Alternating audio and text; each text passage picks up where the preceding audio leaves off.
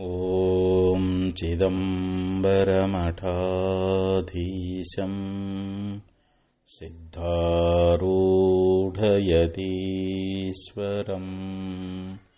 शिष्यप्रशिष्यरूपेण बोधकं गुरुमाश्रये यदङ्घ्रिकमलद्वन्द्वम् तापत्रयनिवारणम् शान्तैक्यपदम् देवम् सिद्धारूढमहम् भजे सिद्धारहं भजे। अद्वैतः सार्वभौमचक्रवर्ती ಜಗದ್ಗುರು ಸಿದ್ಧಾರೂಢ ಮಹಾಸ್ವಾಮಿಗಳವರ ಪವಿತ್ರ ಚರಣಾರವಿಂದಗಳಲ್ಲಿ ಅನಂತ ಕೋಟಿ ಶಿರಸಾಷ್ಟಾಂಗ ಪ್ರಣಾಮವನ್ನು ಸಲ್ಲಿಸಿ ಮೌನಯೋಗಿ ಜಗದ್ಗುರು ಗುರುನಾಥಾರೂಢ ಮಹಾಸ್ವಾಮಿಗಳವರ ದಿವ್ಯ ಚರಣ ಕಮಲಗಳನ್ನು ಎನ್ನ ಹುಣ್ಮಂದಿರದಲ್ಲಿ ಧ್ಯಾನಿಸಿಕೊಂಡು ಸದ್ಗುರು ಶಿವರಾಮ ಅವಧೂತರ ಗುರುಪರಂಪರೆಗೆ ಅನಂತ ಸಾಷ್ಟಾಂಗ ಪ್ರಣಾಮವನ್ನು ಸಮರ್ಪಿಸಿ ಸಾಧು ಚಕ್ರವರ್ತಿ ವಿಶ್ವಕುಟುಂಬಿ ಪಂಚಮಠಾಧೀಶ ನಿರಾಭಾರಿ ಶಿವಾವತಾರಿ ಸ್ಥಿತಪ್ರಜ್ಞ ಜಗದ್ಗುರು ಡಾಕ್ಟರ್ ಭಾರತಿ ಅಪ್ಪಾಜಿಯವರ ಪವಿತ್ರ ಚರಣಾರವಿಂದಗಳಲ್ಲಿ ಅನಂತ ಕೋಟಿ ಶಿರಸಾಷ್ಟಾಂಗ ಪ್ರಣಾಮವನ್ನು ಸಮರ್ಪಿಸಿ ಶ್ರೀಮನ್ ನಿಜಗುಣ ಶ್ರೀಗಳವರು ಕೈವಲ್ಯ ಪದ್ಧತಿಯೊಳಗೆ ನೀತಿ ಕ್ರಿಯಾಚರ್ಯ ಸ್ಥಳದಲ್ಲಿ ಒಂದು ಸುಂದರವಾಗಿರ್ತಕ್ಕಂಥ ಉಪದೇಶವನ್ನು ನೀಡ್ತಾ ಇದ್ದಾರೆ. ಕರುಣ ವಿದ್ಯೆಗಳುಳ್ಳ ಗುರು ಭಜನೆಯೇನು ಶ್ರೀಮನ್ ನಿಜಮಸ ಪರಮಾತ್ಮನಲ್ಲಿ ಬೇಡಿಕೊಂಡ್ರು. ಬೇಡುವೆನ ಭವ ನಿಮ್ಮನು ಮಾಡೆನ ಮಾಡೆನಗೊಲಿದು ಸುಗುಣ ಸಂತತಿಯ ನಿಂತು ಅಂತ ಕೇಳ್ತಾರೆ. ಪರಮಾತ್ಮ, ನೀನು ಭವರಹಿತ. ನಿನಗೆ ಜನ್ಮ ಅನ್ನುವಂಥದ್ದಿಲ್ಲ ನಿನ್ನಲ್ಲಿ ನಾನು ಪ್ರಾರ್ಥನೆ ಮಾಡ್ತಾ ಇದ್ದೀನಿ. ನೀ ನನಗೆ ಎಷ್ಟಾದರೂ ಜನ್ಮಗಳನ್ನು ಕೊಡು. ಆದರೆ ನನಗೆ ಸದ್ಗುಣಗಳನ್ನು ಕೊಡು. ಸದ್ಗುಣಗಳನ್ನು ಕೊಟ್ಟು ನೀ ಎಷ್ಟು ಜನ್ಮವನ್ನು ಎತ್ತಿದ್ರು, ಎಷ್ಟು ಜನ್ಮ ಕೊಟ್ಟರು ಕೂಡ ನಾನು ಶರೀರ ಧಾರಣ ಮಾಡ್ತೀನಿ ಅಂತ ಹೇಳ್ತಾ ಇದ್ದಾನೆ. ನಾನು ಜನ್ಮವನ್ನು ಎತ್ತಲಿಕ್ಕೆ ನಾನೇನು ಒಲ್ಲೆ ಅನ್ನೋದಿಲ್ಲ. ನಾನು ಎಷ್ಟು ಸಾರಿ ಆದರೂ ಹುಟ್ಟಿ ಬರ್ತೀನಿ. ಆದರೆ ಪ್ರತಿಯೊಂದು ಜನ್ಮದಲ್ಲಿ ನನಗೆ ಸದ್ಗುಣಗಳನ್ನು ನೀನು ಕರುಣಿಸು ಅಂತ ಪ್ರಾರ್ಥನೆಯನ್ನು ಮಾಡ್ತಾ ಇದ್ದಾರೆ. ಅಂಥ ಅನೇಕ ಸದ್ಗುಣಗಳನ್ನು ನಿಜಗುಣ ಶ್ರೀಗಳವರು ಪರಮಾತ್ಮನಲ್ಲಿ ಬೇಡಿಕೊಂಡಿದ್ದಾರೆ. ಅವುಗಳಲ್ಲಿ ಅತಿ ಶ್ರೇಷ್ಠವಾದ ಒಂದು ಸದ್ಗುಣ ಕರುಣ ವಿದ್ಯೆಗಳುಳ್ಳ ಗುರುಭಜನೆಯೇನು ಅಂತ ಹೇಳಿದರು. ಇಲ್ಲಿ ಮುಕ್ತಿ ಮೂಲೋ ಗುರುಕೃಪಾ ಅಂತ ಹೇಳ್ತಾರೆ. ನಾವು ಈ ಸಂಸಾರ ಬಂಧನದಿಂದ ಬಿಡುಗಡೆಯನ್ನು ಹೊಂದಿ ಮುಕ್ತರಾಗಬೇಕಾಗಿತ್ತು ಅಂತಂದರೆ ನಾವು ಗುರುವಿನ ಕೃಪೆ ಎನ್ನುವಂಥದ್ದನ್ನು ಹೊಂದಬೇಕು. ಗುರುವಿನ ಕರುಣೆ ಇಲ್ಲದೆ ನಮಗೆ ತತ್ವಜ್ಞಾನ ಆಗೋದಿಲ್ಲ. ಭಗವತ್ ಸಾಕ್ಷಾತ್ಕಾರ ಆಗಬೇಕಾದ್ರೆ ನಾವು ಗುರುವಿನ ಕೃಪೆಗೆ ಪಾತ್ರ ಆಗಬೇಕು ಅಂತ ಹೇಳ್ತಾರೆ. ತದ್ವಿಜ್ಞಾನಾರ್ಥಂ ಸಗುರುಮೇವಾವಿಗಚ್ಚೇತ್ ಸಮಿತ್ಪಾಣಿಹಿ ಶ್ರೋತ್ರಿಯಂ ಬ್ರಹ್ಮನಿಷ್ಠಂ. ತತ್ ಅಂದರೆ ಯಾವುದು? ಆ ಪರಬ್ರಹ್ಮ. ಆ ಪರಬ್ರಹ್ಮದ ಜ್ಞಾನವನ್ನು ನಾವು ಮಾಡಿಕೊಳ್ಬೇಕಾಗಿತ್ತು ಅಂತಂದರೆ ಶ್ರೋತ್ರಿಯನೂ ಬ್ರಹ್ಮನಿಷ್ಠನೂ ಆಗಿರತಕ್ಕಂಥ ಗುರುವಿಗೆ ನಾವು ಶರಣಾಗತಿಯಾಗಬೇಕು ಅಂತ ಹೇಳಿದರು. ತದ್ವಿಜ್ಞಾನಾರ್ಥಂ ಸಗುರು ಮೇವಾವಿಗಚ್ಚೇತ್ ಸಮಿತ್ಪಾಣಿ ಶ್ರೋತ್ರಿಯಂ ಬ್ರಹ್ಮನಿಷ್ಠಂ. ಶ್ರೋತ್ರಿಯನು ಅಂತಂದ್ರೆ ಸಕಲ ವೇದಾಂತವನ್ನು ಚೆನ್ನಾಗಿ ಅಧ್ಯಯನ ಮಾಡಿದವನಾಗಿರಬೇಕು. ಇಲ್ಲಿ ಉಪನಿಷತ್ತುಗಳಾಗಲಿ, ಭಗವದ್ಗೀತೆಯಾಗಲಿ ಬ್ರಹ್ಮಸೂತ್ರ ಆಗಲಿ ಶ್ರೀಮನ್ಯ ನಿಜುಣಶುಳಗರ ಗ್ರಂಥಗಳಾಗಲಿ, ವಿಚಾರಸಾಗರ, ಪಂಚದಶಿ ಮೊದಲಾಗಿರತಕ್ಕಂಥ ಎಲ್ಲ ಗ್ರಂಥಗಳನ್ನು ಚೆನ್ನಾಗಿ ಬಲ್ಲವನಾಗಿರಬೇಕು. ಶರಣಾಗತರಾಗಿರ್ತಕ್ಕಂಥ ಎಲ್ಲ ಸಂಶಯ, ಶಿಷ್ಯರ ಸಂಶಯಗಳನ್ನು ಕಳೆಯುವಂಥ ಸಾಮರ್ಥ್ಯವುಳ್ಳವನಾಗಿರಬೇಕು. ಅವನಿಗೆ ಶ್ರೋತ್ರಿಯ ಅಂತ ಕರೀತಾ ಇದ್ದಾರೆ. ಹಾಗೆ ಇಲ್ಲಿ ಬ್ರಹ್ಮನಿಷ್ಠನಾಗಿರಬೇಕು ಅಂತ ಹೇಳಿದರು. ಬರೀ ಶ್ರೋತ್ರಿಯನಾದರೆ ಸಾಲದು, ಅವನಲ್ಲಿ ಬ್ರಹ್ಮನಿಷ್ಠತ್ವ ಅನ್ನುವಂಥದ್ದಿರಬೇಕು ಅವನು ತನ್ನ ವೃತ್ತಿಯನ್ನು ಬ್ರಹ್ಮಾಕಾರ ಮಾಡಿಕೊಂಡಿರಬೇಕು. ಬ್ರಹ್ಮಾನುಭವಿಯಾಗಿರಬೇಕು. ಬ್ರಹ್ಮನ ಅನುಸಂಧಾನದೊಳಗಿರಬೇಕು. ಆ ಬ್ರಾಹ್ಮಿ ಸ್ಥಿತಿ ಅವನಿಗೆ ಪ್ರಾಪ್ತವಾಗಿರಬೇಕು. ಅಂತಹ ಬ್ರಹ್ಮನಿಷ್ಠತ್ವ ಹೊಂದಿರತಕ್ಕಂಥ ಸದ್ಗುರು ಏನದಾರಲ್ಲ ಅವರಿಗೆ ನಾವು ಶರಣಾಗತರಾಗಬೇಕು ಅಂತ ಹೇಳ್ತಾರೆ. ಶ್ರೋತ್ರಿಯನೂ ಬ್ರಹ್ಮನಿಷ್ಠನೂ ಆಗಿರುವಂಥ ಯಾವ ಸದ್ಗುರುವಿಗೆ ನಾವು ಶರಣಾಗತರಾದೀವಿ ಅಂತಂದ್ರೆ ಅವರು ನಮಗೆ ಯಥಾರ್ಥವಾಗಿರ್ತಕ್ಕಂಥ ಬ್ರಹ್ಮೋಪದೇಶವನ್ನು ಮಾಡ್ತಾ ಇದ್ದಾರೆ. ನಮ್ಮ ಸಂಶಯ ನಿವಾರಣೆ ಮಾಡ್ತಾ ಇದ್ದಾರೆ. ನಮಗೆ ಬಂದಿರತಕ್ಕಂಥ ಅಜ್ಞಾನವನ್ನು ದೂರ ಮಾಡ್ತಾ ಇದ್ದಾರೆ. ಅದಕ್ಕೆ ಇಲ್ಲಿ ಗುರು ಹೇಗಿರಬೇಕು ಅಂತಂದರೆ ಕರುಣ ವಿದ್ಯೆಗಳುಳ್ಳ ಗುರು ಭಜನೇನು ಅಂತ ಹೇಳಿದರು. ಗುರುವಿನಲ್ಲಿ ಒಂದು ಕರುಣಾಗುಣ ಅನ್ನುವಂಥದ್ದಿರಬೇಕು ಅಂತ ಹೇಳ್ತಾರೆ.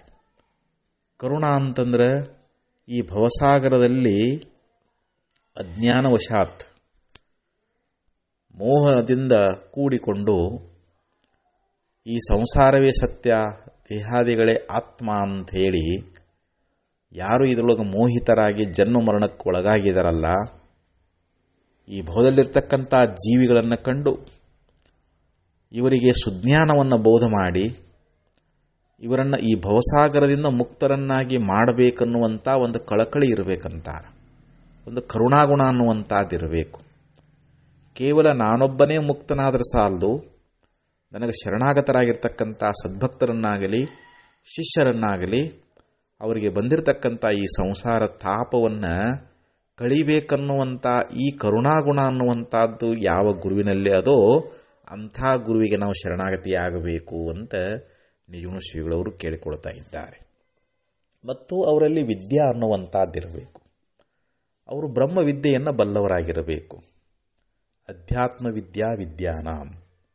ಎಲ್ಲ ವಿದ್ಯೆಗಳಲ್ಲಿ ಶ್ರೇಷ್ಠವಾಗಿರ್ತಕ್ಕಂಥ ವಿದ್ಯೆ ಯಾವುದು ಅಂತಂದರೆ ಅಧ್ಯಾತ್ಮ ವಿದ್ಯಾ ಅದಕ್ಕೆ ಆತ್ಮವಿದ್ಯೆ ಅಂತಾರ, ಬ್ರಹ್ಮವಿದ್ಯೆ ಅಂತ ಕರೀತಾ ಇದ್ದಾರೆ. ಈ ಬ್ರಹ್ಮವಿದ್ಯೆಯನ್ನು ಯಾರು ಬಲ್ಲವರದಾರೋ ಮತ್ತು ಯಾರು ಕರುಣಾಶಾಲಿಗಳದಾರೋ ಅಂಥವರ ಒಂದು ಸೇವೆಯನ್ನು ಕೊಡುವಂತ ಕೇಳಿಕೊಳ್ತಾ ಇದ್ದಾರೆ. ನಾವು ಗುರುವಿನ ಸೇವಾ ಮಾಡಬೇಕು. ಆದರೆ ಎಂಥ ಗುರುವಿನ ಸೇವಾ ಮಾಡಬೇಕು?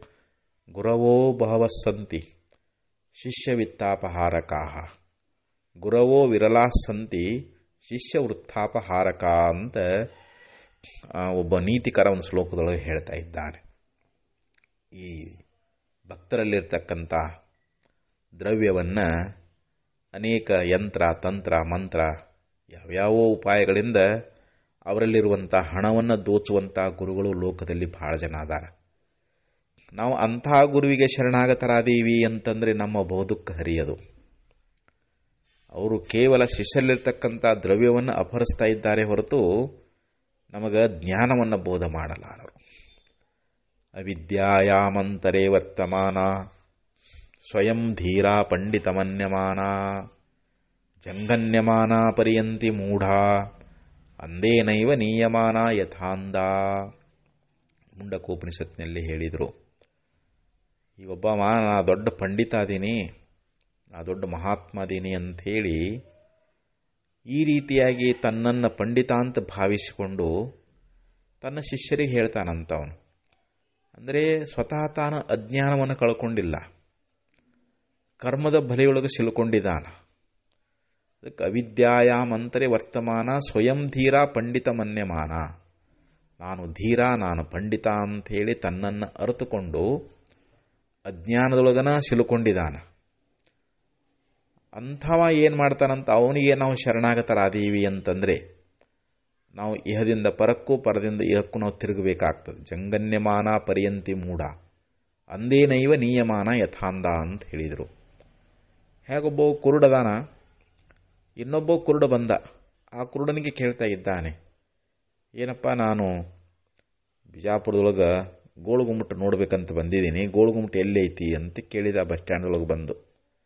ಆ ಕುರುಡ ಏನು ಹೇಳಿದ, ಏ, ನಾನು ಗೋಳುಗುಮ್ಮಟ ನೋಡಿ ಬಂದೀನಿ ನಿನಗೆ ಅವಶ್ಯವಾಗಿ ತೋರಿಸ್ತೀನಿ ಬಾ ಅಂತ ಹೇಳಿ ಆ ಕುರುಡನ್ನು ಕೈ ಹಿಡ್ಕೊಂಡು ಹೊರಟ ಅಂತಂದ್ರೆ ಬಳ್ಳಿಗರುಡು ಕುರುಡರು ಕೂಡಿ ಹಳ್ಳವನು ಬಿದ್ದಂತೆ.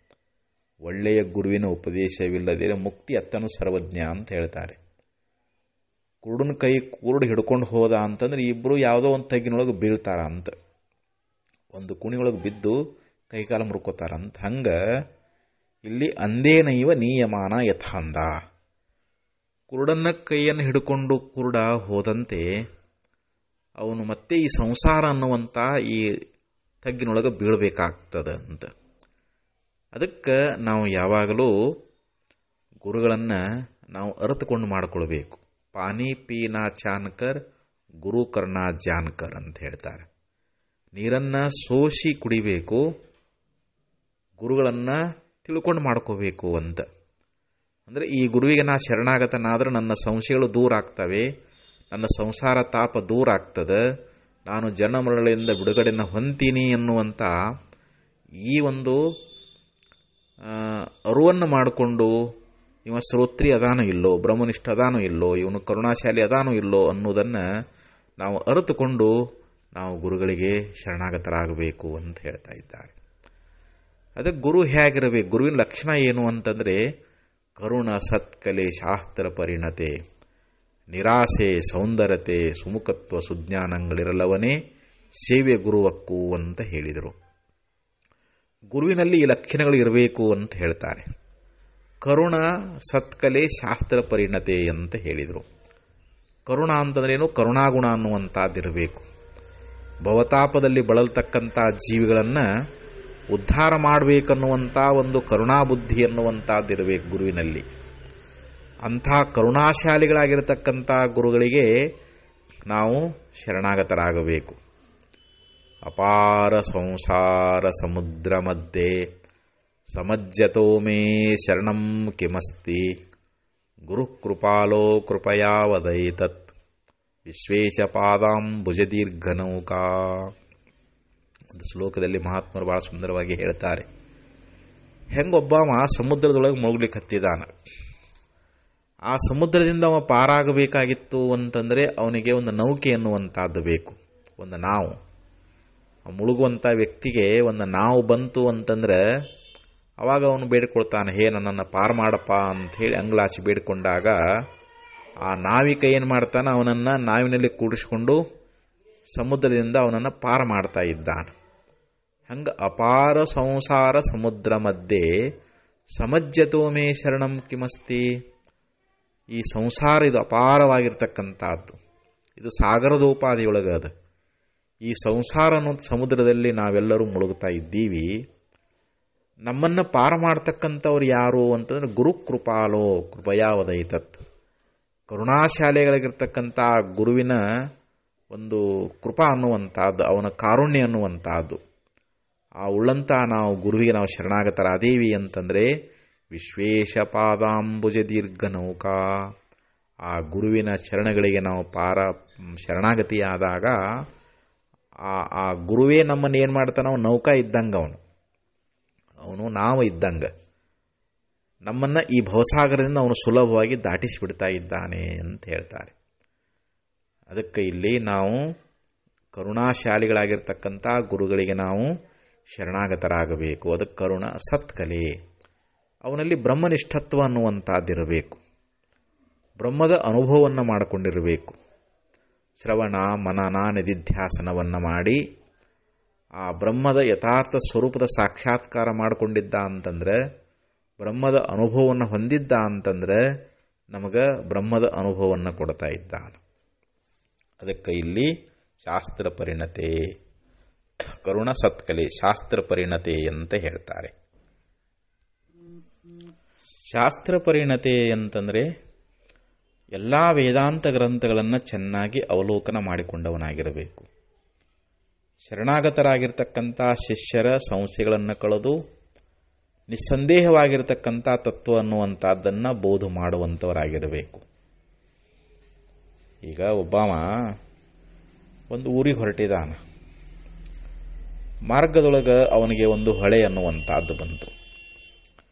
ಆ ಹೊಳೆ ದಾಟಲಿಕ್ಕೆ ಅವನಿಗೆ ಅಲ್ಲಿ ನಾವಾಗಲಿ ಯಾವುದೇ ಒಂದು ಅನುಕೂಲತೆ ಇರಲಿಲ್ಲ. ಅಲ್ಲಿ ಒಬ್ಬ ಕುಂಟ ಕುಳಿತುಕೊಂಡಿದ್ದ. ಅವನಿಗೆ ಕಾಲಿಲ್ಲ ಹೆಳವದಾಗ ಹೆಳವದಾನ. ಆವಾಗ ಅವನನ್ನ ಕೇಳಿಕೊಂಡ, ನೋಡಪ್ಪ ನಾನು ಆ ದಡಕ್ಕೆ ಹೋಗಬೇಕಾಗೈತಿ, ನಾ ಹೇಗೆ ದಾಟಬೇಕು ಅಂತ ಕೇಳಿದ. ಅವಾಗ ಆ ಕುಂಟ ಹೇಳ್ತಾನ ಇಲ್ಲಪ್ಪ ನನ್ನನ್ನು ಹೆಗಲ ಮೇಲೆ ಹೊತ್ತಗೋ ನಾನು ನಿನಗೆ ದಾರಿ ತೋರಿಸ್ತೀನಿ. ನೀನು ಹೊಳೆಯನ್ನು ಸುಲಭವಾಗಿ ದಾಟಬಹುದು ಅಂತಂದ. ಈ ವ್ಯಕ್ತಿಗೆ ಅನುಮಾನ ಬಂತು. ಇವನು ಮೊದಲ ಕುಂಟದಾನ, ಯಾವತ್ತೂ ಹೊಳಿ ದಾಟಿಲ್ಲಿವ. ಮತ್ತು ಇವನು, ಇವನನ್ನು ನಾನು ಹೆಗಲ ಮೇಲೆ ಕುತ್ಕೊಂಡು ಹೋದೆವು ಅಂದ್ರೆ ಎಲ್ಲಿಯಾದ್ರೂ ಆಳುವ ತಗ್ನ್ಯಾಗ ಹೋಗಿ ಇಬ್ಬರು ಮುಳುಗು, ಮುಳುಗಬಾರ್ದು ಅಂತೇಳಿ ಅವನ ಮೇಲೆ ವಿಶ್ವಾಸ ಬರಲಿಲ್ಲ. ಆ ಹೊಳಿ ದಂಡೆ ಹಿಡ್ಕೊಂಡು ಇನ್ನೊಂದು ಸ್ವಲ್ಪ ಮುಂದೆ ಹೋದ. ಅಲ್ಲಿ ಒಬ್ಬ ಕುರುಡ ಇದ್ದ. ಆ ಕುರುಡನಿಗೆ ಕೇಳ್ತಾ ಇದ್ದಾನೆ, ಏನಪ್ಪ ನಾನು ಹೊಳಿ ದಾಟಬೇಕಾಗಿತ್ತು? ಹೊಳಿಯನ್ನು ಹೆಂಗೆ ದಾಟುವುದು ಅಂತ ಕೇಳಿದ.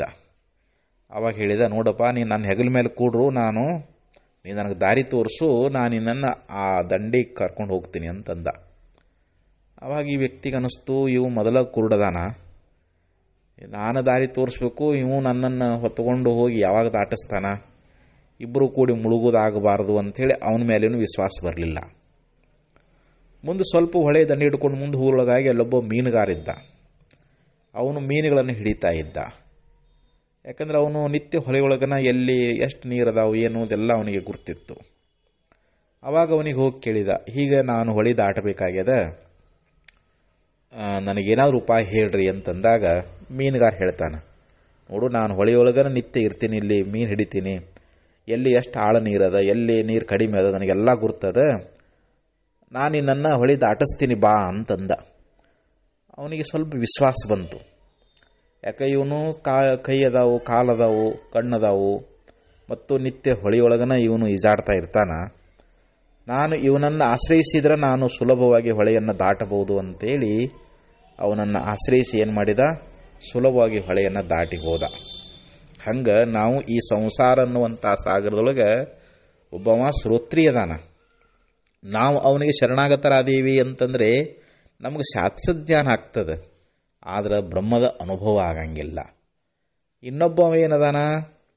ಬ್ರಹ್ಮನಿಷ್ಠದಾನ.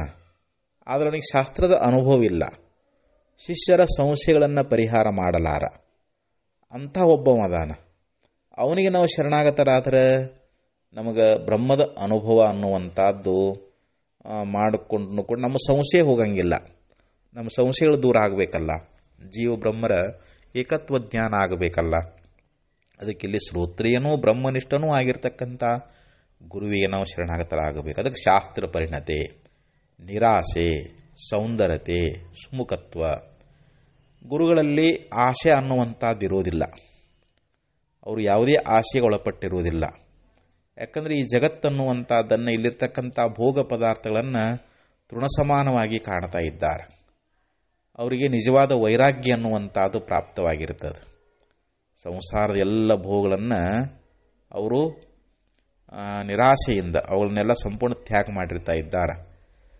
ಅದಕ್ಕೆ ಇಲ್ಲಿ ಏನು ಹೇಳಿದರು ಅಂತಂದರೆ ನಿರಾಸೆ ಸೌಂದರ್ಯತೆ, ಅವನಲ್ಲಿ ಒಂದು ಶರೀರ ಅನ್ನುವಂಥದ್ದು ಅದು ವರಪುಣ್ಯಮಯ ಶರೀರ ಇರ್ತದೆ. ಸುಂದರವಾದ ಬ್ರಹ್ಮ ತೇಜಸ್ಸನ್ನು ಹೊಂದಿರ್ತಾ ಇದ್ದಾನೆ. ಅವನ ಮುಖದಲ್ಲಿ ಪ್ರಸನ್ನತೆ ಅನ್ನುವಂಥದ್ದಿರ್ತದೆ ಅವನು ಸದ್ಗುಣಶೀಲನಾಗಿರ್ತಾ ಇದ್ದಾನೆ. ಆಗ ಅದಕ್ಕೆ ಸದ್ಗುಣಗಳು ಇದ್ದಂಥ ಗುರುವಿಗೆ ನಾವು ಸೇವೆ ಮಾಡಬೇಕು ಅಂತಹ ಗುರುಗಳಿಗೆ ನಾವು ಶರಣಾಗತರಾಗಬೇಕು ಅಂತ ಹೇಳ್ತಾ ಇದ್ದಾರೆ. ಸುಗುಣ ಸುಜ್ಞಾನಗಳು ಇರಲವನೇ ಸೇವೆ ಗುರುವಕ್ಕು ಅಂತೇಳಿ ಹೀಗೆ ಗುರುವಿನ ಲಕ್ಷಣವನ್ನು ಶ್ರೀಮನ್ ನಿಜಗುಣಶಿಗಳವರು ಬಹಳ ಸುಂದರವಾಗಿ ಮಾಡ್ಕೊಂಡು ಬಂದರು. ಅದಕ್ಕೆ ನಾವು ಇಂಥ ಗುರುವಿನ ಸೇವಾ ಮಾಡಬೇಕು ಅಂತ ಹೇಳಿದರು. ಇಂಥ ಗುರುವಿನ ಸೇವಾ ಮಾಡಿದಾಗ ಮಾತ್ರ ನಮಗೆ ಯಥಾರ್ಥವಾದ ಜ್ಞಾನೋದಯ ಅನ್ನುವಂಥದ್ದು ನಮಗೆ ಆಗ್ತದೆ ಅಂತ ಹೇಳ್ತಾರೆ. ರಾಮತೀರ್ಥರ ಹತ್ರ ಬಹಳ ಜನ ಸೇವಾ ಮಾಡ್ತಿದ್ದರು ಶಿಷ್ಯರಿದ್ದರು ಗುರುವಿನ ಸೇವಾ ಮಾಡಿಕೊಂಡು ಗುರುವಿಂದ ತತ್ವಜ್ಞಾನ ಮಾಡಿಕೊಳ್ಬೇಕು ಅಂತ ಅವರ ಸೇವೆ ನಿರತರಾಗಿದ್ದರು ಅವರ ಹತ್ರ ಒಬ್ಬ ಅಂಬಾದಾಸ ಅಂಥೇಳಿ ಅವನು ದೇವಿಯ ಉಪಾಸನೆಯನ್ನು ಮಾಡಿ ತನ್ನ ಅಂತಃಕರಣದಲ್ಲಿರ್ತಕ್ಕಂಥ ಎಲ್ಲ ಪಾಪವನ್ನು ಕಳ್ಕೊಂಡಿದ್ದ. ಅವನ ಅಂತಃಕರಣ ಬಹಳ ಪರಿಶುದ್ಧವಾಗಿತ್ತು. ಅವನಲ್ಲಿ ಯಾವುದೇ ಪಾಪ ಲೇಷಗಳಿದ್ದಿದ್ದಿಲ್ಲ ಅಂಥ ಅಂಬಾದಾಸನಿಗೆ ಏನಾಯಿತು ಅಂತಂದರೆ, ಒಂದು ಸಲ ಗುರುಗಳು ನೋಡಿದರು, ಅಂಬಾದಾಸ ಬಹು ವರ್ಷಗಳಾಯಿತು ಸೇವಾ ಮಾಡ್ತಾ ಇದ್ದಾನ. ಇವನಿಗೆ ಜ್ಞಾನೋಪದೇಶವನ್ನು ಮಾಡಿ ಮುಕ್ತನನ್ನಾಗಿ ಮಾಡಬೇಕು ಅಂತ ಗುರುಗಳು ಸಂಕಲ್ಪ ಮಾಡಿದರು. ಅವಾಗ ಅಂಬಾದಾಸನನ್ನು ಕರೀತಾ ಇದ್ದಾರೆ. ಅಂಬಾದಾಸ ಇತ್ತ ಬಾ ಅಂತ ಕರೆದರು ಅವಾಗ ಓಡಿ ಬಂದ. ಸಾಷ್ಟಾಂಗ ನಮಸ್ಕಾರ ಮಾಡಿದ. ಕೈ ಮುಕ್ಕೊಂಡು ನಿಂತ. ಗುರುಗಳು ಹೇಳ್ತಾರೆ, ಅಂಬಾದಾಸ ನಿನಗೆ ಮರ ಹತ್ತಲಿಕ್ಕೆ ಬರ್ತದೇನೋ ಅಂತ ಕೇಳಿದರು. ಗುರುಗಳೇ, ತಾವು ಆಶೀರ್ವಾದ ಮಾಡಿದರೆ, ತಮ್ಮ ಕೃಪಾ ಆದರೆ ಮರವನ್ನು ಹತ್ತಬಲ್ಲೆ ಅಂತ ಹೇಳಿದ ವಿನಯದಿಂದ. ಅವರ ಆಶ್ರಮದಲ್ಲಿ ಒಂದು ದೊಡ್ಡ ಆಳವಾದ ಬಾವಿ ಇತ್ತು. ಬಾವಿ ಮೇಲೂ ದೊಡ್ಡ ಮರ ಬೆಳೆದಿತ್ತು. ಭಾಳ ದೊಡ್ಡ ಮರ. ಈ ಮರವನ್ನು ಹತ್ತು ಅಂತ ಹೇಳಿದರು. ಅದ್ರ ಹಂಗೆ ಹತ್ತು ಬೇಡ ಕೈಯಾಗ ಕೊಡ್ಲಿ ತೊಗೊಂಡು ಹೋಗು ಅಂತ ಹೇಳಿದರು. ಕೊಳ್ಳಿ ತೊಗೊಂಡು ಅಂಬಾದಾಸ ಆ ಮರವನ್ನು ಹತ್ತಿದ. ಆ ಬಾವಿ ಮೇಲೆ ಬಂದಿತ್ತಲ್ಲ, ಆ ಟೊಂಗೆ ಮೇಲೆ ಬಾ ಅಂತ ಹೇಳಿದರು. ಆ ಬಾವಿ ಮೇಲೆ ಒಂದು ದೊಡ್ಡ ಟೊಂಗೆ ಬಂದಿತ್ತು. ಆ ಟೊಂಗೆ ಮೇಲೆ ಬರ್ತಾ ಇದ್ದಾರೆ. ಬಂದಾಗ ಗುರುಗಳು ಹೇಳಿದರು ಅದು ತುದಿಗೆ ಬಾ ಅಂತ ಹೇಳಿದರು. ತುದಿ ಒಳಗೆ ಬಂದ. ನೀ ಯಾವ ಟೊಂಗೆ ಮೇಲೆ ನಿಂತಿಯಲ್ಲ ಆ ಟೊಂಗೆಯನ್ನು ಕಡಿ ಅಂತ ಹೇಳಿದರು. ಆಯ್ತು ಗುರುಗಳೇ, ನಿಮ್ಮ ಆಜ್ಞೆ ನಾನು ಕಡಿತಾ ಇದ್ದೀನಿ ಅಂತಂದ. ಅವಾಗ ಗುರುಗಳು ಹೇಳ್ತಾರ, ಅಲ್ಲಪ್ಪ, ನೀ ನಿಂತ ಟೊಂಗೆ ಕಡಿದ್ರೆ ಆ ಟೊಂಗೆ ಜೊತೆಯೊಳಗೆ ನೀನು ಬಾವಿಯೊಳಗೆ ಬಿದ್ದಿ ಅಂತಂದ್ರೆ ನೀ ಉಳಿತೀಯೇನೋ ಅಂತ ಕೇಳಿದರು. ಗುರುಗಳೇ, ತಮ್ಮ ಕೃಪೆಯೊಳಗೆ ಈ ಭವಸಾಗರವನ್ನೇ ದಾಟುವಂಥ ಸಾಮರ್ಥ್ಯ ಇರಬೇಕಾದ್ರೆ ಈ ಬಾವಿಯೊಳಗೆ ಬಿದ್ದು ಪಾರಾಗು ಇದೇನು ದೊಡ್ಡದದು ಅಂತಂದ. ಆವಾಗ ಅವನ ನಿಷ್ಠೆಯನ್ನು ನೋಡಿ ಗುರುಗಳಿಗೆ ಬಹಳ ಸಂತುಷ್ಟ, ಸಂತೋಷ ಆಯಿತು. ಆಯ್ತಪ್ಪ, ಅದನ್ನು ಕಡಿ ಅಂತ ಹೇಳಿ ಧ್ಯಾನಾಸಕ್ತರಾದರು. ಅಲ್ಲಿರ್ತಕ್ಕಂಥ ಶಿಷ್ಯರೆಲ್ಲ ಅಂದ್ಕೊಳ್ತಾರೆ, ಬಹುಶಃ ಅಂಬಾದಾಸನ ಅಂತ್ಯ ಇವತ್ತಾಗ್ತದೆ. ಅವನು ಸತ್ತು ಹೋಗ್ಬಿಡ್ತಾನೆ ಯಾಕೆ ಅಷ್ಟು ಮೇಲಿಂದ ಇದ್ದ ಟೊಂಗಿನೇ ಕಡಿಯಾಕತ್ತಾನ. ಅದು ಬಾವಿಯೊಳಗೆ ಬಿತ್ತು ಅಂತಂದರೆ ಅದ್ರ ಜೊತೆಯೊಳಗೆ ಅವನು ಬಿದ್ದು ಬಿಡ್ತಾನ. ಅದರ ಬಾವಿಯ ನೀರನ್ನು ಕೂಡ ಭಾಳ ಇಲ್ಲ ಸ್ವಲ್ಪ ನೀರದ ಇವನು ಖಚಿತವಾಗಿ ಉಳಿಯುವುದಿಲ್ಲ. ಈಗ ಸತ್ತು ಹೋಗಿಬಿಡ್ತಾ ಇದ್ದಾನ ಅಂತ ಎಲ್ಲರೂ ಮನಸ್ಸಿನೊಳಗೆ ಅಂದುಕೊಂಡ್ರು.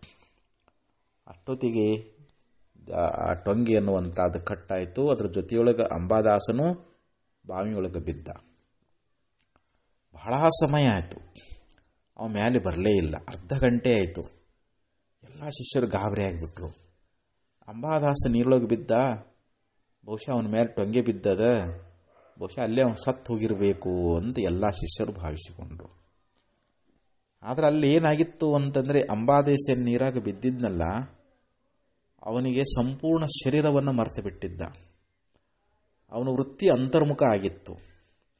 ಅಲ್ಲಿ ಸಾಕ್ಷಾತ್ ಶ್ರೀರಾಮಚಂದ್ರನ ದರ್ಶನವನ್ನು ಪಡ್ಕೊಂಡ. ಆ ಭಗವಂತನ ದರ್ಶನವನ್ನು ಮಾಡಿ ಮಾಡಿ ಅವನ ವೃತ್ತಿ ಅನ್ನುವಂಥದ್ದು ಅಲ್ಲೇ ಲಯ ಆಗಿ ಹೋಗಿಬಿಡ್ತವನು. ಅಲ್ಲೇ ಸಮಾಧಿ ಹತ್ತಿಬಿಟ್ಟಿತ್ತು ಅವನಿಗೆ ಅವಾಗ ಎಷ್ಟೊತ್ತಾದ್ರೂ ಅಂಬಾದಾಸ್ ಮ್ಯಾಲೆ ಬರಲಿಲ್ಲಲ್ಲ, ಹಿಂಗಾಗಿ ಶಿಷ್ಯರು ಓಡಿ ಬಂದರು, ಗುರುಗಳೇ ಗುರುಗಳೇ, ಅಂಬಾದಾಸ್ ನೀರಾ ಬಿದ್ದವ ಮ್ಯಾಲೆ ಎಳಲೇ ಇಲ್ಲ ಅವನು ಸತ್ತಿರಬೇಕು ಅಂತಂದಾಗ ಅವಾಗ ಗುರುಗಳು ಹೇಳ್ತಾ ಇದ್ದಾರೆ, ಅಂಬಾದಾಸ ಅಂಬಾದಾಸ ಅಂತ ಕೂಗಿ ಕರೆದರು. ಆ ಕ್ಷಣ ಅದು ಶಿಷ್ಯನ ಕಿವಿಗೆ ಬಿತ್ತದು. ನೀರೊಳಗಿರ್ತಕ್ಕಂಥ ಯಾವ ಅಂಬಾದಸನ ಸ್ರೋತಕ್ಕೆ ಗುರುವಿನ ಕೂಗು ಕೇಳಿಸ್ತು. ಅವಾಗ ಅವನು ಸಮಾಧಿಯಿಂದ ಉತ್ಥಾನ ಆದ. ಅವಾಗ ಬಂದೆ ಗುರುದೇವ ಅಂತ ಮ್ಯಾಲೆ ಬಂದ, ನೀರಿನ ಮ್ಯಾಲೆ. ಅವಾಗ ಅಲ್ಲಿದ್ದ ಶಿಷ್ಯರೆಲ್ಲ ಬಾವಿಯಾಗಿ ಇಳಿದ ಟೊಂಗೆ ತೆಗೆದು ಅಂಬಾದಾಸನ ಮೇಲೆ ಎತ್ಕೊಂಡು ಬಂದರು. ಅಂಬಾದಾಸ ಗುರುವಿನ ಪಾದಕ್ಕೆ ಸಾಷ್ಟಾಂಗ ನಮಸ್ಕಾರ ಮಾಡಿದ. ಗುರುಗಳೇ ಅನೇಕ ಯೋಗಿಗಳು, ತಪಸ್ವಿಗಳು, ಜ್ಞಾನಿಗಳು ಅರಣ್ಯದೊಳಗಿದ್ದುಕೊಂಡು ಗೆಡ್ಡೆಗೆಣಸು ತಿನ್ಕೊಂತ ಎಷ್ಟೋ ವರ್ಷಗಳ ಪರ್ಯಂತರವಾಗಿ ತಪಸ್ಸು ಮಾಡಿದ್ರೂ ಕೂಡ ದೊರೆಯದೇ ಇರತಕ್ಕಂಥ ಸಾಕ್ಷಾತ್ ಶ್ರೀರಾಮಚಂದ್ರನ ದರ್ಶನ ಇವತ್ತು ನಾನು ಮಾಡಿಕೊಂಡು ನನ್ನ ಜನ್ಮ ಪಾವನಾಗಿ ಹೋಗ್ಬಿಡ್ತು. ನಾನು ಧನ್ಯನಾದೆ.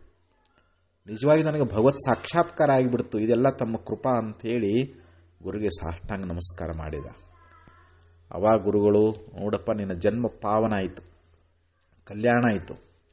ಹಿಂದಿನಿಂದ ನೀನು ಕಲ್ಯಾಣಿ ಅಂತೇಳಿ ಪ್ರಸಿದ್ಧ ಆಗು ಅಂಥೇಳಿ ಗುರುಗಳು ತಮ್ಮ ಅಮೃತ ಹಸ್ತವನ್ನು ಆ ಕಲ್ಯಾಣಿಯ ಮಸ್ತಕದ ಮೇಲೆ, ಅಂಬಾದಾಸನ ಮಸ್ತಕದ ಮೇಲೆ ಇಟ್ಟಾಗ ಅವನು ಸಮಾಧಿಸ್ಥನಾಗಿಬಿಟ್ಟ.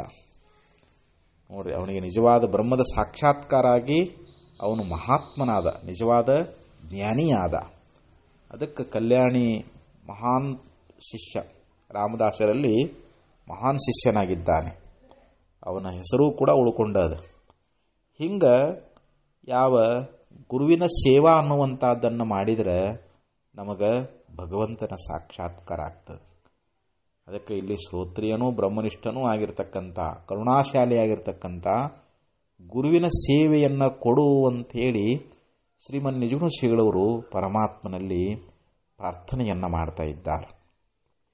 ಅದಕ್ಕೆ ನಾವು ನಮ್ಮ ಜೀವನ ಪಾವನ ಮಾಡಿಕೊಳ್ಬೇಕು, ನಾವು ಧನ್ಯರಾಗಬೇಕು ಅಂತಂದರೆ ನಾವು ಗುರುವಿನ ಸೇವಾ ಮಾಡಿ ನಾವು ಪಾವನರಾಗಬೇಕಾಗ್ತದೆ. ಅದಕ್ಕೆ ಅಂಥ ಒಂದು ಗುರುವಿನ ಸೇವೆಯನ್ನು ಕೊಡುವಂತ ಕೇಳಿದ್ರದು.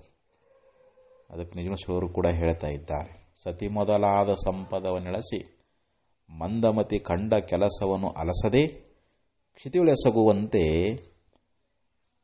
ನಿಜಮಶ್ವರು ಹೇಳಿದರು. ಒಬ್ಬ ಮಂದಮತಿಯಾಗಿರ್ತಕ್ಕಂಥ ಪುರುಷ ಏನು ಮಾಡ್ತಾನ ಅಂತಂದರೆ ಸ್ತ್ರೀ, ಪುತ್ರ, ಧನ, ಕನಕ, ವಸ್ತು, ವಾಹನ ಮೊದಲಾಗಿರ್ತಕ್ಕಂಥ ಐಹಿಕ ಭೋಗಗಳನ್ನು ಅಪೇಕ್ಷೆ ಮಾಡಿ ಅವನು ಸುಮ್ಮನೆ ಕುಂಡಿರ್ತಾನೇನು. ಇಲ್ಲ, ಯಾವುದೇ ಕೆಲಸ ಇರಲಿಲ್ಲ, ಆಲಸ್ಯ ಪಡಲಾರ್ದಂಗೆ ಆ ಕೆಲಸಗಳನ್ನು ಮಾಡ್ತಾನೆ.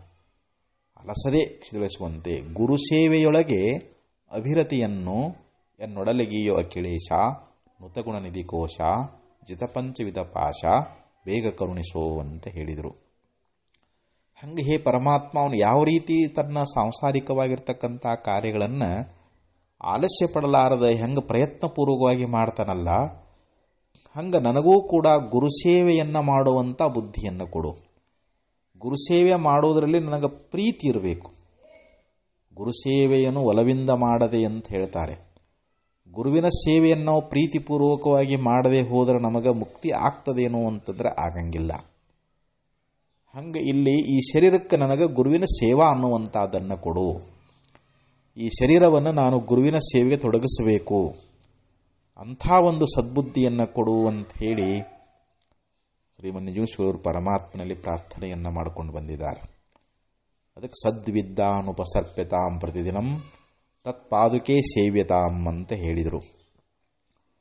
ವಿದ್ವಾಂಸನು, ಮಹಾನ್ ಪಂಡಿತನೂ, ಜ್ಞಾನಿಯೂ, ಅನುಭಾವಿಯೂ ಆಗಿರ್ತಕ್ಕಂಥ ಗುರುಗಳಿಗೆ ನಾವು ಶರಣಾಗತರಾಗಬೇಕು. ಅಂಥ ಗುರುವಿನ ಸೇವೆ ಅನ್ನುವಂಥದ್ದನ್ನು ಮಾಡಬೇಕು ಅಂತ ಹೇಳ್ತಾರೆ. ಈಶ್ವರತೆ ಗುರುಮೇ ಅಧಿಕ್, ಧಾರೈ ಭಕ್ತಿ ಸುಜಾನ್ ಭಿನ ಗುರುಭಕ್ತಿ ಪ್ರವೀಣಹು, ಲಹೈನ ಆತ್ಮಜ್ಞಾನ್. ವಿಚಾರ ಸಾಗರದೊಳಗೆ ಬಹಳ ಸುಂದರವಾಗಿ ಹೇಳಿದರು. ನಾವು ಈಶ್ವರನಕ್ಕಿಂತಲೂ ಗುರುವಿನಲ್ಲಿ ಅಧಿಕವಾಗಿರತಕ್ಕಂಥ ಭಕ್ತಿ ಎನ್ನುವಂಥದ್ದನ್ನು ಮಾಡಬೇಕು ಅಂತ ಹೇಳ್ತಾರೆ. ಬಿನ ಗುರು ಭಕ್ತಿ ಪ್ರವೀಣ ಹೂँ. ಅವನು ಗುರುವಿನಲ್ಲಿ ಭಕ್ತಿಯನ್ನು ಮಾಡಲಾರದೆ ಅವ ಎಂಥ ಪಂಡಿತ ಅದಾನಂದ್ರೂ ಕೂಡ ಲಹೈನ ಆತ್ಮಜ್ಞಾನ, ಅವನಿಗೆ ಆತ್ಮಜ್ಞಾನ ಆಗ್ತದೇನೋ ಅಂತಂದ್ರೆ ಆಗಂಗಿಲ್ಲ. ನಾವು ಆತ್ಮಜ್ಞಾನವನ್ನು ಮಾಡಿಕೊಳ್ಬೇಕಾಗಿತ್ತು ಅಂತಂದರೆ ನಾವು ಗುರುಗಳಿಗೆ ಶರಣಾಗತರಾಗಿ ಗುರುವಿನಲ್ಲಿ ಅನನ್ಯವಾದ ಭಕ್ತಿ ಅನ್ನುವಂಥದ್ದನ್ನು ಮಾಡಬೇಕು. ಗುರುವೇ ನನ್ನ ಸರ್ವಸ್ವ. ಗುರುವಿನನ್ನು ಬಿಟ್ಟು ನನಗೆ ಬೇರೆ ಯಾವ ದೈವ ಅನ್ನುವಂಥದ್ದಿಲ್ಲ ಅಂಥೇಳಿ ಸರ್ವ ಸಮರ್ಪಣ ಭಾವದಿಂದ ನಾವು ಗುರುಗಳಿಗೆ ಶರಣಾಗತರಾಗಿ ಆ ಗುರುವಿನಲ್ಲಿ ಭಕ್ತಿ ಅನ್ನುವಂಥದ್ದನ್ನು ಅತ್ಯಂತ ಪ್ರೇಮದಿಂದ ಮಾಡಿದ್ದೀವಿ ಅಂತಂದ್ರೆ ಗುರು ನಮಗೆ ನಮ್ಮ ಮೇಲೆ ಕೃಪಾ ಮಾಡಿ ನಮಗೆ ಶ್ರೇಷ್ಠವಾದದ್ದು ತತ್ವಜ್ಞಾನವನ್ನು ಬೋಧ ಮಾಡ್ತಾ ಇದ್ದಾನೆ.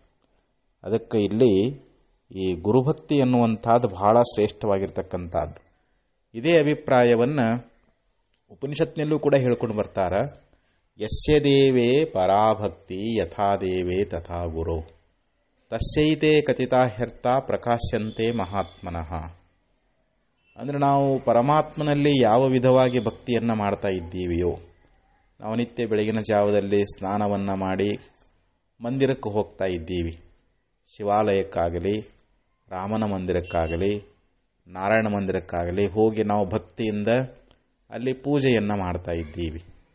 ನೈವೇದ್ಯವನ್ನು ಸಮರ್ಪಣೆ ಮಾಡ್ತಾ ಇದ್ದೀವಿ. ನಮಸ್ಕಾರಾದಿಗಳನ್ನು ಮಾಡ್ತಾ ಇದ್ದೀವಿ. ಆ ಭಗವಂತನಲ್ಲಿ ಯಾವ ರೀತಿಯಾಗಿ ನಾವು ಭಕ್ತಿ ಮಾಡ್ತೀವಿಯೋ ಹಾಗೆ ಗುರುವಿನಲ್ಲಿಯೂ ಕೂಡ ನಾವು ಭಕ್ತಿ ಅನ್ನುವಂಥದ್ದನ್ನು ಮಾಡಿದ್ದೀವಿ ಅಂತಂದರೆ, ತಸ್ಯೈತೆ ಕಥಿತಾಹ್ಯರ್ಥ ಪ್ರಕಾಶಂತೆ ಮಹಾತ್ಮನ ಅಂತ ಹೇಳಿದರು.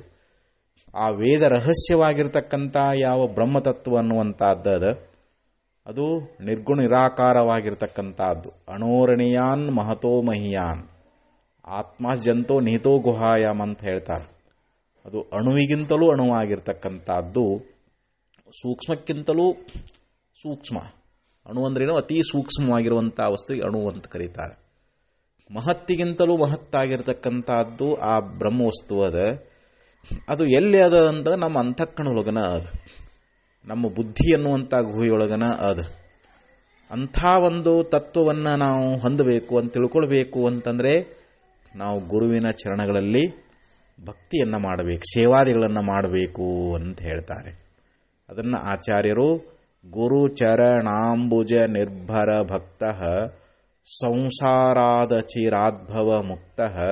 ಸೇಂದ್ರಿಯ ಮಾನಸ ನಿಯಮಾದೇವಂ ದ್ರಕ್ಷಸಿ ನಿಜ ಹೃದಯಸ್ಥಂ ದೇವಂ ಅಂತ ಹೇಳಿದರು. ಅಂದರೆ ಗುರುವಿನ ಚರಣದಲ್ಲಿ ಯಾರು ಅತಿಶಯವಾಗಿರತಕ್ಕಂಥ ಭಕ್ತಿಯನ್ನು ಮಾಡ್ತಾ ಇದ್ದಾರೋ, ದೃಢವಾದ ಭಕ್ತಿ ಮಾಡಬೇಕು. ನಮ್ಮ ಗುರುವಿನ ಚರಣದಲ್ಲಿ ಭಕ್ತಿ ಅಚಲವಾಗಿರಬೇಕು ಅಂತ ಹೇಳ್ತಾರೆ. ನಾವು ಬರೀ ಕಷ್ಟ ಬಂದಾಗಟ್ಟ ಗುರುಸ್ಮರಣ ಮಾಡಿದರೆ ಸಾಲದು. ನಮಗೆ ಸಂಸಾರದಲ್ಲಿ ಏನಾರು, ಏನಾದರೂ ಎಡರು ತೊಡರು ಬಂದಾಗ ಮಾತ್ರ ಗುರುವಿನ ಸ್ಮರಣ ಮಾಡ್ತೀವಿ, ಗುರು ಸನ್ನಿಧಿಗೆ ಬರ್ತೀವಿ. ನಮ್ಮ ಕಷ್ಟಗಳು, ದುಃಖಗಳು ಬಯಲಾದವು ಅಂತಂದ್ರೆ ನಾವು ಗುರುಗಳನ್ನು ಮರ್ತು ಬಿಡ್ತೀವಿ. ಆದರೆ ಇದು ನಿಜವಾದ ಗುರುಭಕ್ತಿ ಅನಿಸಿಕೊಳ್ಳೋದಿಲ್ಲ ನಮಗೆ ಸುಖ ಬಂದ್ರೂ ಬರಬೇಕು, ನಮಗೆ ದುಃಖ ಬಂದ್ರೂ ಬರಬೇಕು. ಸದಾಕಾಲದಲ್ಲಿ ಗುರುವಿನ ಚರಣದಲ್ಲಿ ಅತಿಶಯವಾಗಿರ್ತಕ್ಕಂಥ ಭಕ್ತಿಯನ್ನು ಮಾಡಿದ್ದೀವಿ ಅಂತಂದರೆ ಅಚಿರಾತ್, ಅಂದರೆ ಅತಿ ಶೀಘ್ರವಾಗಿ. ಈ ಸಂಸಾರ ಸಾಗರದಿಂದ ನಾವು ಪಾರಾಗಿ ಬಿಡ್ತೀವಿ ಅಂತ. ಗುರುನಾಥ ನಮ್ಮನ್ನು ಈ ಭವಸಾಗರದಿಂದ ದಾಟಿಸಿ ಬಿಡ್ತಾ ಇದ್ದಾನೆ. ಅದಕ್ಕೆ ಗುರುವಿನ ಕರುಣ ಅನ್ನುವಂಥದ್ದು ಬಹಳ ಮುಖ್ಯ. ಆ ಗುರುವಿನ ಕರುಣೆಯನ್ನು ನಾವು ಪಡಿಬೇಕು ಅಂತಂದರೆ ಗುರುವಿನ ಚರಣಗಳಲ್ಲಿ ಭಕ್ತಿ ಅನ್ನುವಂಥದ್ದನ್ನು ಮಾಡಬೇಕು ಅಂಥೇಳಿ ಆಚಾರ್ಯರು ಬಹಳ ಸುಂದರವಾಗಿ ಹೇಳ್ತಾ ಇದ್ದಾರೆ. ಸೇಂದ್ರಿಯ ಮಾನಸ ನಿಯಮಾದೇವಂ ಇನ್ನೂ ಒಂದು ಮಾತನ್ನು ಹೇಳಿದರು. ಯಾರು ತಮ್ಮ ಮನಸ್ಸನ್ನುವಂಥದ್ದನ್ನು ಇಂದ್ರಿಯಗಳನ್ನುವಂಥದ್ದನ್ನು ಸಂಯಮನ ಮಾಡಿದಾರೋ, ನಿಗ್ರಹ ಮಾಡಿದಾರೆಯೋ, ಅವರು ತಮ್ಮ ಹೃದಯದೊಳಗೆ ಭಗವಂತನನ್ನೇ ಕಾಣ್ತಾ ಇದ್ದಾರೆ ಅಂತ. ದ್ರಕ್ಷಸಿ ನಿಧ ಹೃದಯಸ್ಥಂ ದೇವಂ.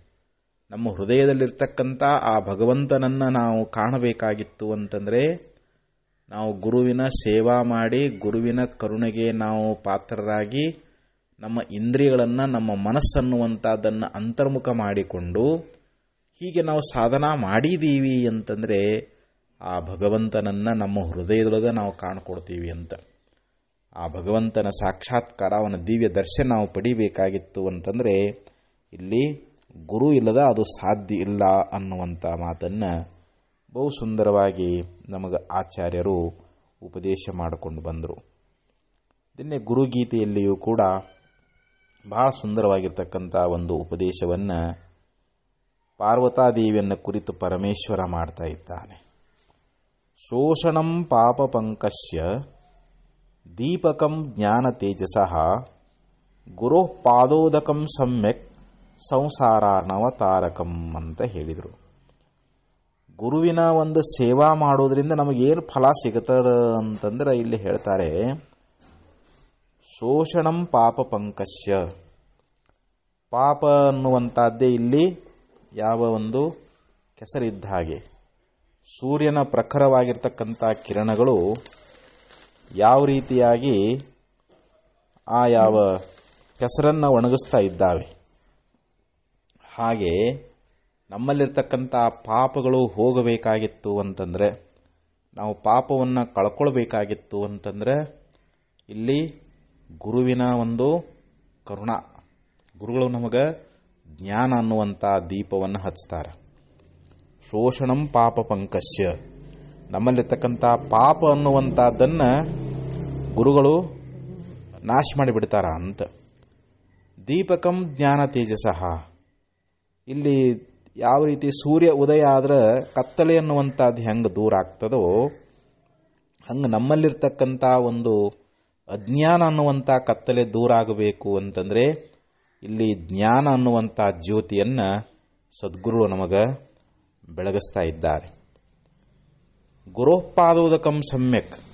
ಗುರುವಿನ ಪಾದೋದಕವನ್ನು ಯಾವನು ಚೆನ್ನಾಗಿ ಸ್ವೀಕಾರ ಮಾಡ್ತಾ ಇದ್ದಾನೋ, ಗುರುವಿನ ಪಾದ ಸೇವೆಯನ್ನು ಮಾಡಿ ಗುರುವಿನ ಪಾದ ಪೂಜಾದಿಗಳನ್ನು ಮಾಡಿ, ಆ ಪಾದೋದಕವನ್ನು ಭಕ್ತಿಯಿಂದ ಸ್ವೀಕಾರ ಮಾಡಿದ ಅಂತಂದ್ರೆ ಅವನು ಸುಲಭವಾಗಿ ಈ ಸಂಸಾರ ಅನ್ನುವಂಥ ಸಾಗರವನ್ನು ದಾಟ್ತಾನೆ ಅಂತ.